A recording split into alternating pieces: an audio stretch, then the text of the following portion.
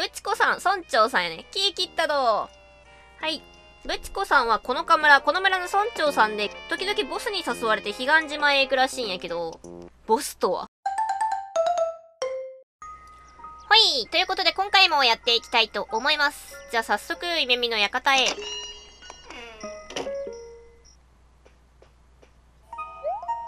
らっしゃいませ。リラクゼーションサロン、みえみの館へようこそお越しくださいました。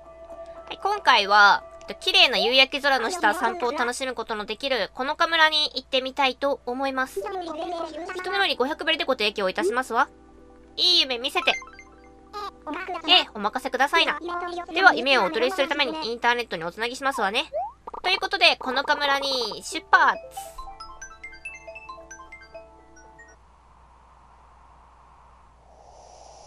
はい、このカ村に到着お、着替えが。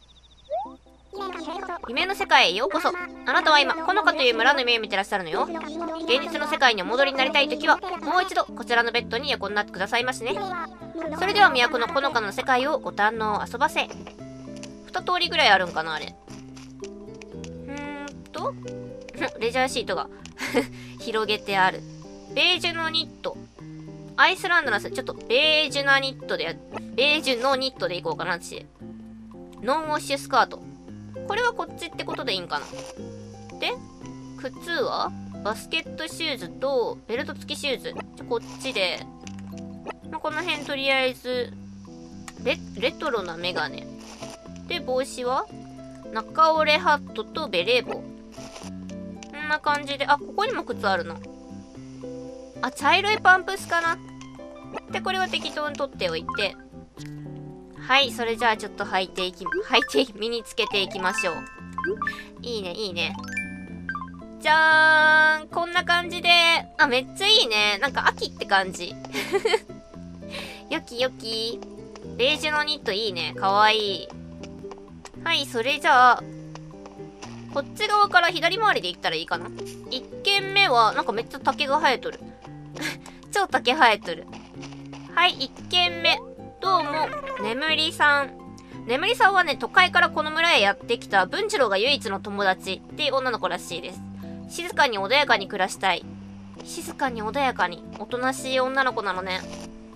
まあ、文次郎が唯一の友達。人間のお友達はいないの？都会から村にやってきたってことはなんかちょっとプライドが高かったりとかするんかな？どうして私がこんな田舎に？みたいな。ね、そういう感じよくあるやん。アニメとかで。実際もそういう人おるんかどうかはわからんけど、こっちをなんかじっと見ている。何？ゴミ箱をいたずらしようとしてる？もしかして。ダメよ、それ。飼い主さんに怒られるよ。はい、それじゃあちょっと右側の部屋に行こうかな。はい、右側の部屋へ。お、なんか地面、あ、いいね。床と壁めっちゃいいね。なんかちょっと、なんていうん神秘的な空間におるみたいじゃない自分が。え、超綺麗。いいね、いいね。これは熊の実？かな？かわいい。にもにも。いいね。で、こういうなんか無造作に置かれた貝殻とかがさ、またいいよね。飾りとして。アクセントになっとる。ほー。なんかこういうね、なんていうん、なんていうんやっけあれ？ガウン？ああいうのとか着たことないんやけど、バスローブか。バスローブか。あんなの着たことないんやけど、お金持ちって本当に着るんかな？ね、ああいうのも、アニメとかでしか見たことない気がする。あとはバラエティとかでなんかちょっとふざけて、なんか、お金持ち役の人が、ああいう格好をしたりとか、なんか、ワイン片手に、っていうイメージがある、すごい。はい、それじゃあ左の部屋へ。お、左側はなんか急にめっちゃワヤ。お、そしてダックス。かわいい。ここはなんかあれかな？中庭的な感じなんか。なるほど、すごい。かわいい。あ、なるほどね。確かに、このアジサイも、これベッドやけど、なんかこう、なんていう、植木？として見せれるよね。確かに。あ、すごい。なるほどね。かわいい。綺麗。やっぱ和の空間とは落ち着くものだな。この獅子脅しの音もいいしね。カン、カンって音。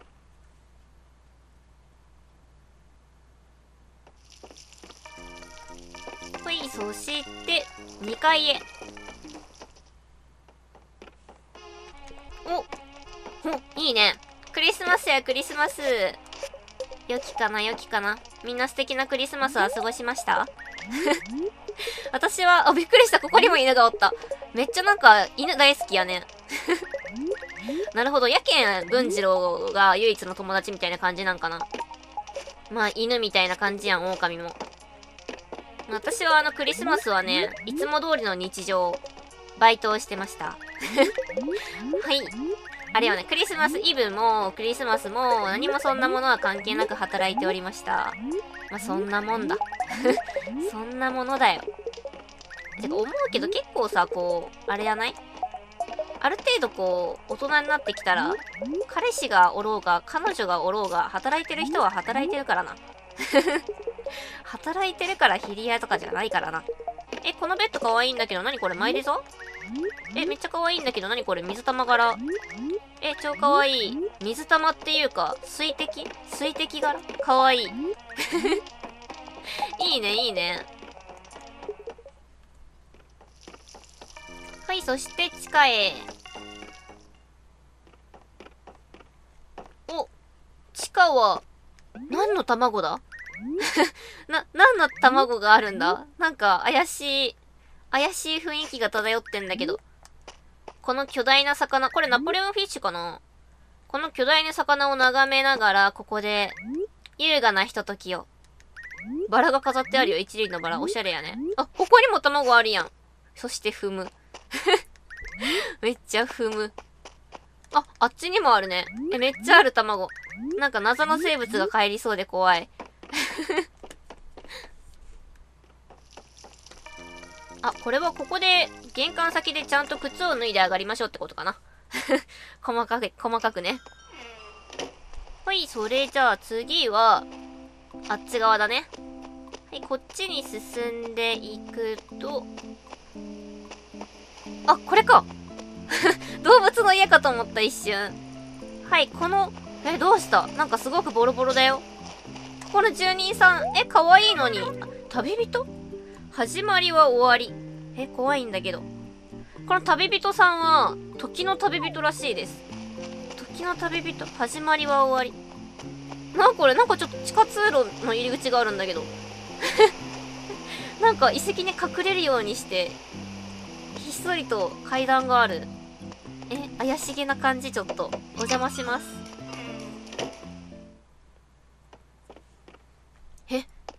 ピラミッドだ、ピラミッド。そして、まタイマー、時計。時の旅人。一体どういう、いろいろ旅して、こう時空をいろいろ渡ってきて、今この村にたどり着いたってこと？へえ。なんか、謎大きって感じやね。で、この壁紙すごいな。こういう壁紙もあるの？まあ、マイデザじゃないよね。え、なんかすごいんやけど。今度はどこに行くんやろうね。今度は時空を超えて一体どこにたどり着くんだろうか、あの人は。まあ、時空を超えるから、この時代とは限らんのよね。もう全く違う、原始時代とかに向かうかもしれんし、もっともっと未来に向かうかもしれんしって感じ。すごいな。はい、そしてこうやって木々の間を抜けていくと、駅前にたどり着くと。で、そこからさらにちょっとこう下がっていくと、はい、3軒目の家。3軒目なんかちょっと、あ、良さげな感じじゃない？綺麗な感じするけど。ここの住人さんは家の中かな？なんか家の中に人がおるとかそういうのは何でわかるん？なんか落とし物あった。落とし物があったよ。交番に届けないと。え？待って。あ、ここあれやん。なんかキノコで囲まれたところやん。なんて言うんやっけ？ああいうの。ちょっと忘れたけど。はい、それじゃあ、お邪魔します。これ明かりがついてけばいいんかな？人の家も。ん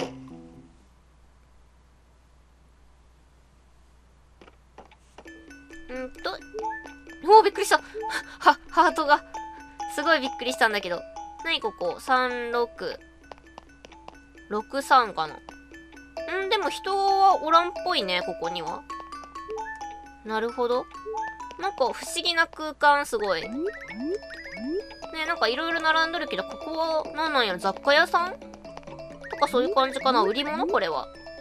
なんか、ぽいよね。そんな感じがする。はい、じゃあ、左の部屋へ。お、ここは喫茶店だね。あ、いいね。曲がいいね。これなんていう曲やっけ？あ、よきよき、こういうところでピザを焼いたり、で、これは、なんやローストビーフとかそんな感じかな。いいね。なんか、なんかちょっと、外国チックな感じ？これ日本ではない、ウエスタンみたいな感じかな。かっこいい。はい、そして、右の部屋へ。あ、奥行ってない。お、右側は、ここは、子供部屋？なんか、お裁縫とかが趣味みたいやね。ここで縫い物したりとか、こっちミシンでもいろいろ縫ってみたりとか。あのクマは自作かなすごいな。多分このオルゴールとかも自分で作ったんやろうね。あれも自分で作ってそうじゃないリース。すごい女子力高そう はい、そして奥の部屋へ。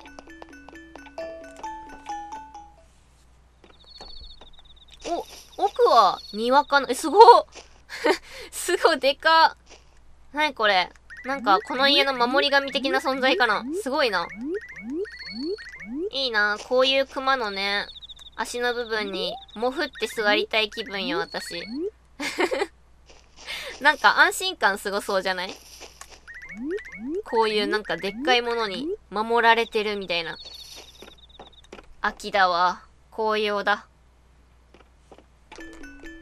はい、そして、2階へ、ハートを回復しつつね。2階はあったかい雰囲気やね、なんか。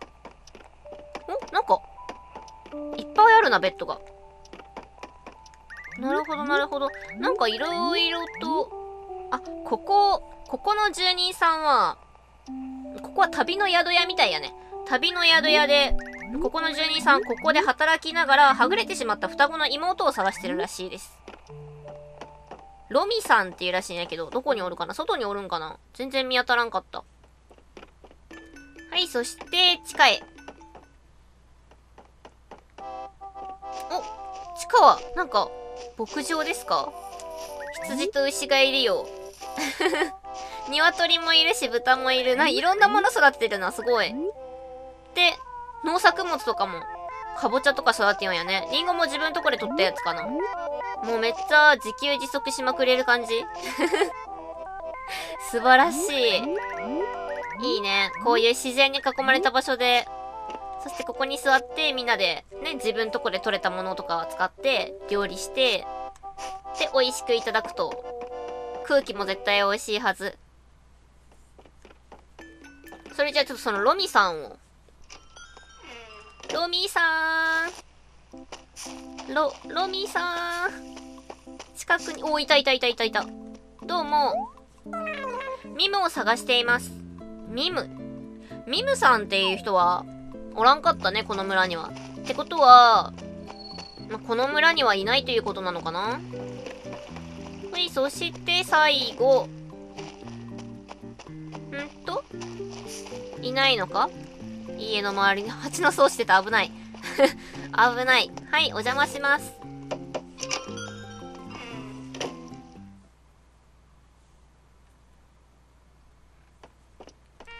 お、いたいた。ここは喫茶店かなどうも。